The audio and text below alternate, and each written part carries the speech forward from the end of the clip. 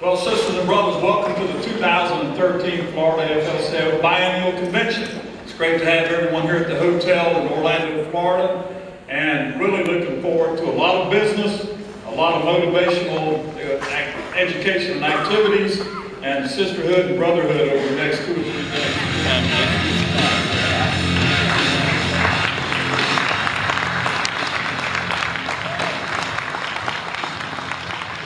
Welcome to Orlando, the happiest place on earth. The Central Florida AFL-CIO represents over 100 local unions and over 40,000 members. I'm also the president of Unite Here Local 362, that represents 7,000 workers in the hospitality industry.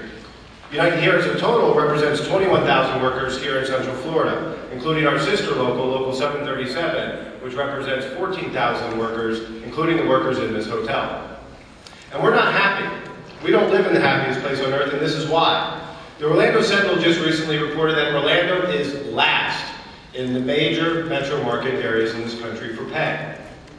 Real equality on the job is something that we can never give up on, and we'll fight every day to change. And until that happens, sisters and brothers, the fight continues. Welcome to Orlando. Thank you.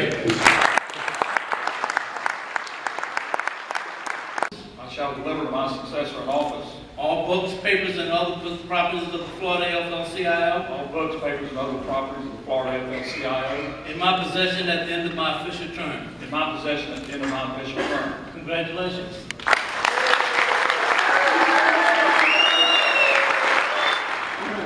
I, Mike Williams. I, Williams. Do solemnly pledge. Do solemnly pledge. My word and honor. My word and honor. I shall deliver to my successor.